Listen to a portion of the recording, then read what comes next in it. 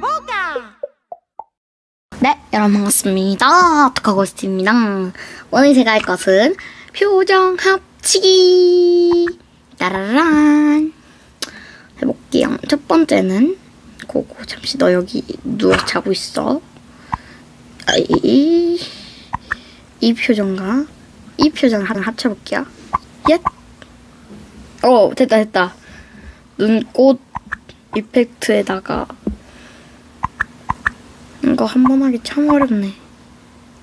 이런 식으로 됐고요. 그리고 두 번째. 얘랑 얘인데요. 보, 보셨나요, 방금? 이 보라 색깔 하트가 나왔거든요. 표정은 윙크를 하고 있더라고요. 보라색 하트 뿅뿅뿅뿅. 아니, 근데 놀라운 거는 이거는 눈에 이렇게 다 뜨고 있고, 이거는 이렇게 돼 있고, 이거는 다 감고 있는데, 윙크하는 눈이 어디서 나온 걸까요, 여러분?